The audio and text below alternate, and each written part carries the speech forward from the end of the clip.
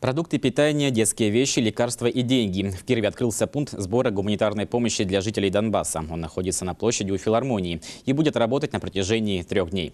Часть собранных средств, рассказали волонтеры, передадут украинским беженцам, которые живут в Кировской области. Там же у филармонии в рамках акции открылась выставка «Мир Донбасса». Она была создана в 2015 году и от- и включает в себя около 30 авторских работ. В каждой человеческая судьба и искренние эмоции. Выставка эта передвигается по разным городам России и, как отмечают волонтеры, в сердцах кировчан уже оставила отклик. Первая подошла бабушка, говорит, родненькие, миленькие, мы за вас так переживаем. Это было действительно очень от души. У меня прям слезы навернулись просто. Вот эта душевность э, удивительная.